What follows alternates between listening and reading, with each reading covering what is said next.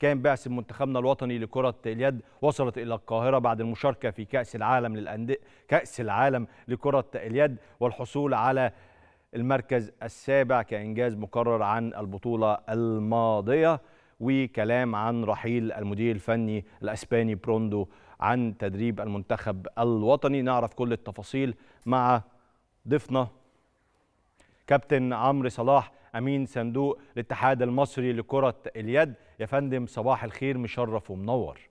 ربنا يخليك كل سنة وأنت طيب وفرصة سعيدة جدا يا كريم وان شاء الله كده تبقى يبقى شهر انتصارات إن شاء الله للرياضة المصرية. يا رب إن شاء الله وسهرناك. أنا عارف بس كان وجودك معانا مهم يعني عشان نعرف كثير من التفاصيل.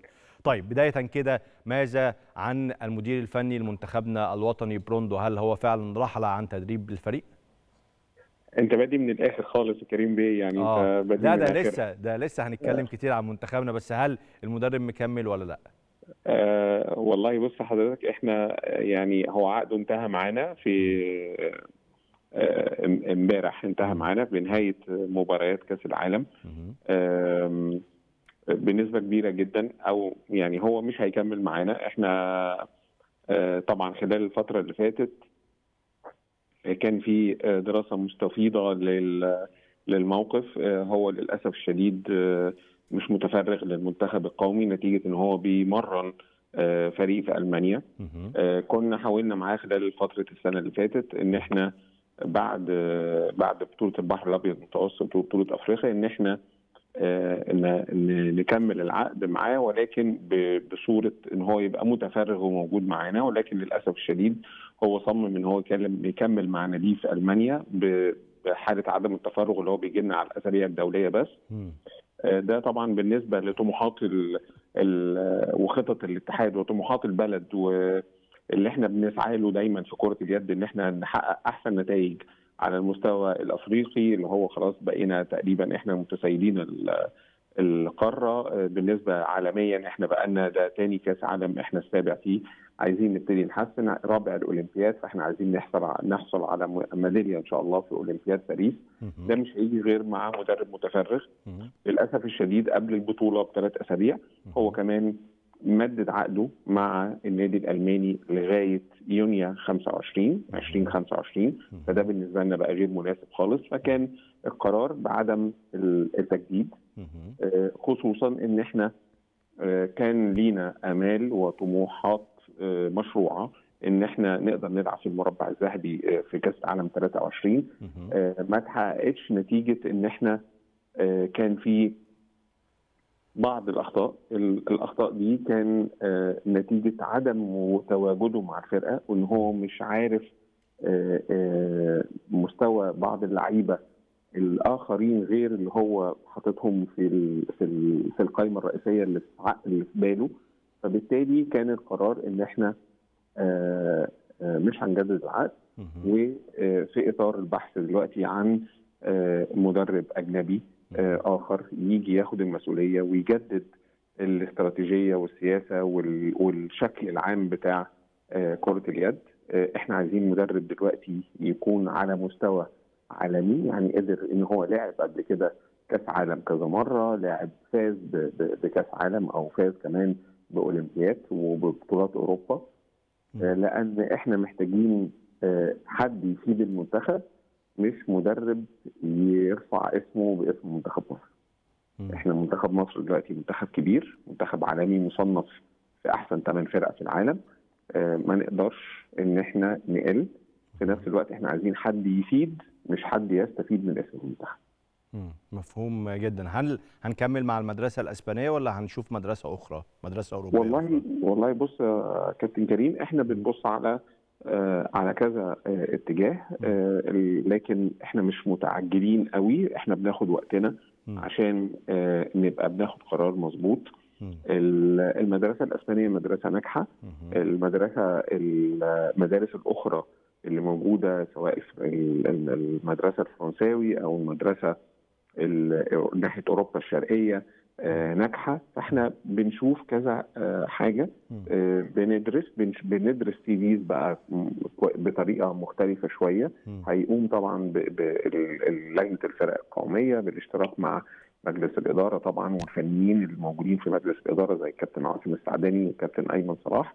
بدراسة ال ال أحسن ال CVهات ومش بس CV ورق لا إحنا بنبص على CV و achievements والنتائج اتحققت ويقدر إن هو يشتغل كمان مع آه، المنتخبات الأخرى زي الناشئين والشباب آه، في إعدادهم عشان يبقى كل المنتخبات بتلعب بطريقة واحدة بحيث إن أنا لما آجي أطلع اصعد ناشئ. يلعب من من من الناشئ من الشباب أو من الناشئين ما يبقاش فيه اختلاف في طريقة وسيستم اللعب مفهوم. ده ده التوجه العام. وده هيتم خلال الفترة القريبة الج- الجاية لأن إحنا عندنا آه، كأس. اثنين كأس عالم خلال شهر يونيو وشهر يوليو للناشئين والشباب فبالتالي إحنا محتاجين ناخد قرارات تبقى سليمة ولكن في وقتها كمان صحيح طيب نيجي بقى للبطولة يا فندم إحنا في البطولة لا بس عايز الأول أحط ثوابت وجودنا في المركز. السابع في الترتيب العالمي أو ترتيب منتخبات كأس العالم ده ترتيب جيد جدا والترتيب السنة أو البطولة اللي فاتت في المركز السابع ده ترتيب جيد جدا. بس عشان إحنا سقف توقعاتنا ارتفع للغاية على حجم مستوى منتخبنا ولاعبي منتخب مصر كرة اليد كنا مستنيين أكتر.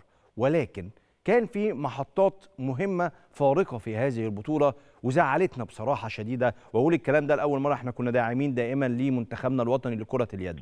مباراة الدنمارك اللي كانت هتبعدنا عن المنتخب السويد ما دخلناهاش بشكل جيد. مباراة السويد نفسها رغم إن إحنا لحد الدقيقة 20 كنا ماشيين يعني ند لند مع المنتخب السويدي فجأة ابتعدنا تماما عن المباراة أو بعدنا في النتيجة. آخر مباراة وإحنا فارقين كتير على المجر الفرق يضيق ونتعادل ونخش في مرحلة صعبة والحمد لله اللي إحنا فزنا في النهاية. ليه المراحل الصعبة ديت عدينا بيها رغم ان إحنا بدايتنا في البطولة كانت رائعة جدا بالفوز وفوز مريح على المنتخب الكرواتي؟ بص هقول لحضرتك على حاجة. أنا أنا هرد على حاجتين. الحاجة. الأولانية حضرتك بتقول لي إن آه، إن إحنا حافظنا على المركز السابع والطموحات كانت أعلى. طبعا الطموحات كانت أعلى ولكن إحنا حافظنا على المركز السابع. في نقطة معينة لازم حضرتك تبقى واخد بالك منها. اتفضل إحنا حافظنا على المركز السابع في مصر آه، بدون لعب مباريات ترتيبيه للمركز الخامس والسادس والسابع والثامن. لأن دي كانت كان ليها نظام مختلف في كأس العالم اللي فات. اتغير في كأس العالم ده مم. تاني حاجة لازم حضرتك تبقى عارفها كنا بنلعب كأس العالم في مصر في 21 مم. إحنا بنلعب كأس العالم في أوروبا في معقل آه، آه، ال handball في في في في الدول الإسكندنافية. في وسط آه، ظروف مختلفة خالص عن 21 21 كان في كوفيد 19 كان في فرق ما جاتش زي كرواتيا أساسا اعتذرت عن البطولة. آه، في فرق جت ناقصة ثلاثة واربع لعيبة آه، منها ألمانيا منها السويد منها الاثنين لعيبة في في في الدنمارك. فالمنتخبات اللي جت في 21 آه، كانت آه، عدد كانت أقل في المستوى من نتيجة ظروف الكوفيد وقتها.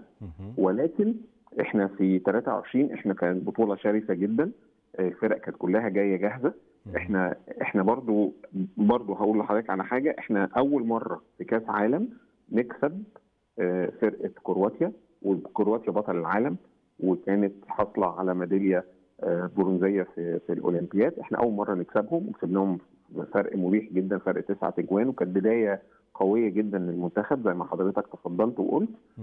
كسبنا كمان أول مرة نكسب منتخب المجر. إحنا عمرنا ما كسبنا منتخب المجر. في كأس العالم آه، فاحنا طالعين السابع ورانا ثمان فرق من أوروبا ودي. عمرها ما حصلت قبل كده عشان مم. برضو حضرتك تبقى نبقى نحط الأمور في نصابها ولكن. ولكن رأي حضرتك. وإحساس الجمهور بالدقيقه في بعض الأحيان هو مبرر وليه حق والناس كلها ليها حق. لأن. إيه التبرير؟ التبرير إن إحنا من أول ماتش من من من بعد ما يعني دي دي أنا بشوفها اللي هي أحد الغلطات الاستراتيجية اللي قام بيها المدرب. إن هو لما بيبقى فيه ماتش قوي زي ماتش مثلا الدنمارك أو السويد أو ألمانيا أو ماتش المجر الأربع ماتشات تحديدا والماتش الأولاني بتاع كرواتيا. بيلعب بعدد معين من اللعيبة قليل جدا من التشكيل هو بيبقى عنده كيان بيخش بيه المباراة مم. ب 16 لاعب. في الماتشات دي في الأربعة دول هو لم يستفيد بأكتر من 8 ل 9 لعيبة. صحيح. دي المشكلة إن أنت بتوصل أنت لو شفت آخر صورة كانت منشورة أو شفت الفرقة شكلها عامل إزاي بعد ماتش آه، اللعيبة شكلها عاملة إزاي بعد ماتش آه، المجر. الناس اللعيبة نايمة على الأرض مش قادرين منهكين. مستنزفين. فبالتالي ده دي ده الغلط اللي إحنا شفناه في الأربع ماتشات اللي حضرتك من أول الدنمارك. لغاية السويد. لغاية سوري لغاية المجر انت. بتلعب في الأربع ماتشات العنيفة دي بتشكيل لا يتعدى 8 ل 9 لعيبة صحيح فدي ده إنهاك أنا النهارده مشفق على لعيب زي يحيى الدرع. لعب لعب في في البطولة تسع ماتشات. التسع ماتشات لعب فيهم 60 دقيقة. لعب إجمالي إجمالي عدد الدقائق اللي لعبها كل الدقائق تقريبا ما خرجش غير يمكن وقت قليل جدا. إبراهيم المصري نفس الحكاية حاطط عليه حمل وعبء نفسي كبير جدا في الدفاع مم. آه آه علي زين آه محمد سند بكار محمد ممدوح. مص- مصمم تلعب ب 8 9 لعيبة طول ال 60 دقيقه آه آه، ربنا عرفوه بالعقل. صح. امال أنا واخد ال 16 ليه؟ صح. صح. فأنت هي دي المشكلة. هي دي خاصة خاصة إن إحنا الكواليتي بتاع لعيبي كرة اليد كمان قريبين من بعض. يعني إحنا مش بنتكلم في إحنا ما لعيبه بنتكلمش في بعاد فروق في المستوى إحنا بالظبط. مفيش يعني أصلا أنت بتتكلمش في فروق لأن أساسا ال ال ال الكيان بتاع المنتخب ال 19 لعيب. منهم آه، 11 محترف. والباقي كله آه، ما بين أهلي وزمالك يعني بيلعبوا مباريات قمية مباريات على أعلى مستوى سواء اللي بيلعبوا آه، محترفين أو اللي بيلعبوا في مصر صح. واللي بيلعبوا في مصر كان في لعيبة لما نزلت عملت فارق كبير جدا زي حسن قداح في. ماتش السويد.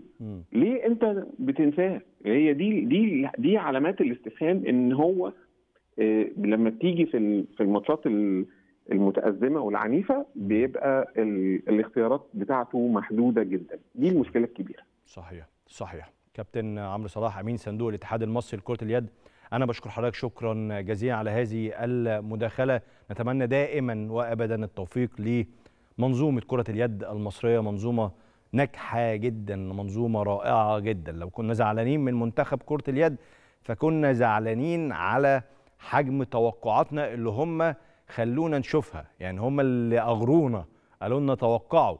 أو بطريقة لعبهم أو بمهاراتهم أو بإمكانياتهم خلوا توقعاتنا عالية جدا. إحنا قلنا نروح كأس العالم ده وناخد كمان ميدالية مش مجرد مركز شرفي. خد بالك إنك تفضل بين الثمانيه الكبار للبطولة الثانية على التوالي ده شيء رائع جدا. بس إحنا بنتكلم في جيل حلو قوي. جيل ياخد ميدالية. ياخد ميدالية سواء في كأس العالم أو في الاولمبياد دايما دايما على الحافة. نبقى قريبين أهو أهو الميدالية قربت أهي وما ناخدهاش. لا عايزين المرة الجاية إن شاء الله مع جهاز فني جديد والكابتن عمرو صلاح خلاص أكد كمان أهو دلوقتي إنه آه، بروندو المدير الفني للمنتخب المصري لكره اليد رحل وجاري البحث عن مدير فني جديد.